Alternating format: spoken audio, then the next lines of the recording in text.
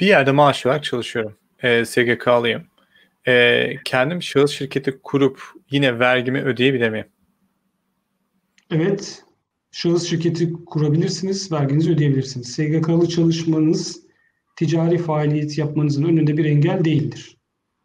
E, bildiğim kadarıyla şey var sanırım. Bağkur ödemiyordun diye biliyorum ama tam da emin değilim.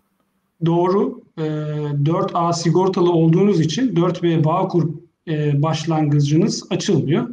Şirketiniz sizin e, sigortanızı ödüyor. Siz sadece ticari faaliyetinizi yapıyorsunuz. E, Bağkur primi ödemiyorsunuz. Aynı zamanda da ek kazançlarınız vergilendirilmiş oluyor. Evet.